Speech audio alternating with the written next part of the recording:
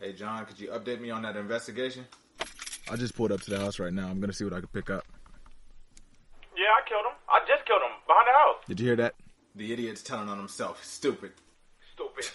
It's too easy. It's too easy. It is. It's I'm just gonna go in now. easy. I chopped his legs off, and then he didn't die. So I set him on fire. What the hell is wrong with this? Did you get that? Are you getting this? Uh, go, go, go get him. Yo, go, go arrest I- him.